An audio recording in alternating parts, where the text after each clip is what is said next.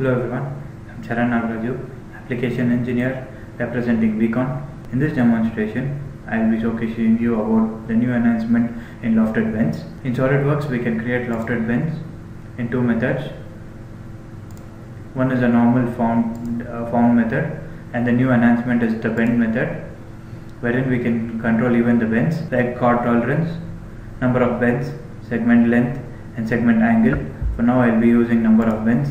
We can even change num- number of bends according to our requirement. So I will be giving it 8 here.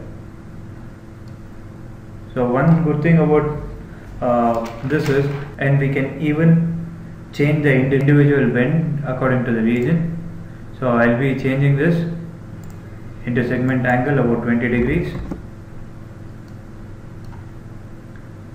and the lofted bend feature is done. It is even easy to unfold.